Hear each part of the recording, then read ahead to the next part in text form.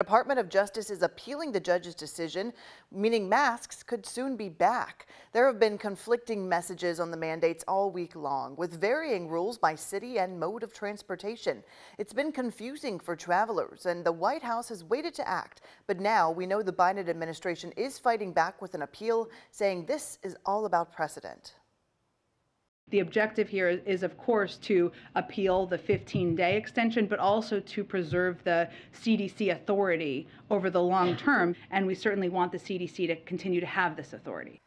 The CDC has also announced masks are still necessary for public health and that it is well within the CDC's legal authority to protect public health.